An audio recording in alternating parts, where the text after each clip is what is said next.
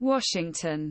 October 1 U.S. President Joe Biden suppressed bill support a bill Congress Republicans provide more help Ukraine, and said that it was sick and tired of the political brinkmanism, which almost caused government close. Biden spoke after the Congress PASGAP bill on Saturday, which has expanded stopgap invoice that expanded government financing for more than month and avoided closing more than 4 million employees of the federal government without salary and interrupting wide-range services.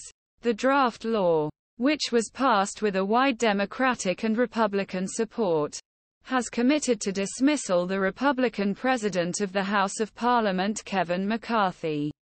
The draft law, which lasted until November 17, did not include aid to Kiev, after Russia occupied last year, Russia became an important supporter of Ukraine. And Biden tried to gather the world and its own country to maintain this support. Biden said the Republicans promised to provide this aid with a separate vote. We cannot allow America's Ukrainian support to be interrupted under any circumstances. I expect the Speaker to secure the passage and support required to help Ukraine while defending themselves against aggression and savagery. U.S. President Joe Biden. Tempe, Arizona. USA. USA. At Tempe Arts Center on September 28, 2023. The late U.S. Senator John McCain Legacy of Democracy during an event that honors about democracy.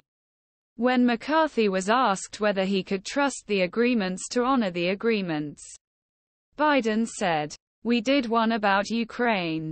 So we will learn. Said.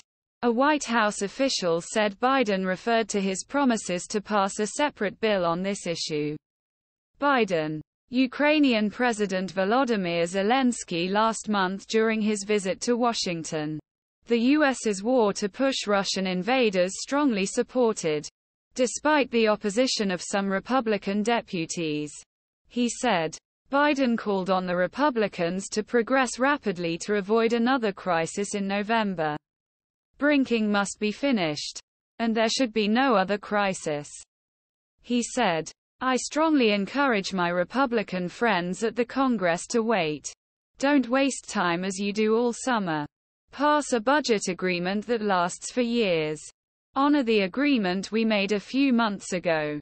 Biden refused to weigh McCarthy if Democrats needed their votes to continue their business as the Speaker of Assembly.